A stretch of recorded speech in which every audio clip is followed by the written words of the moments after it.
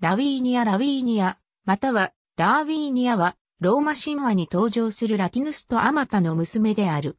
ラテン人の賢王ラティヌスは、トロイア戦争に敗れて亡命してきたアイネーアースと、彼の軍団をもてなし、ラティウムでの再出発を支援した。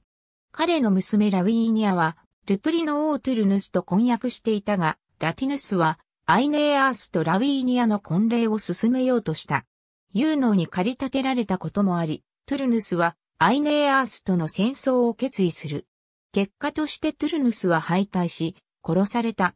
ティトゥス・リウィウスによれば、アイネーアースは勝利したが、ラティヌスは戦争中に亡くなった。アイネーアースの息子アスカニオスは、アルバロンガを建設し、王家の祖となり、ユリウス氏族の祖とされている。アイネーアースとラウィーニャには、シルウィウスという息子ができた。アイネーアースが建設したラウィニウムは、ラウィーニアの名を冠したとされている。アーシュラケルイコールグウィンの2008年の小説、ラウィーニアは、アエネイス後半を、ルイコールグウィンが解釈し直して膨らませ、ラウィーニアを主人公として描いたものである。ありがとうございます。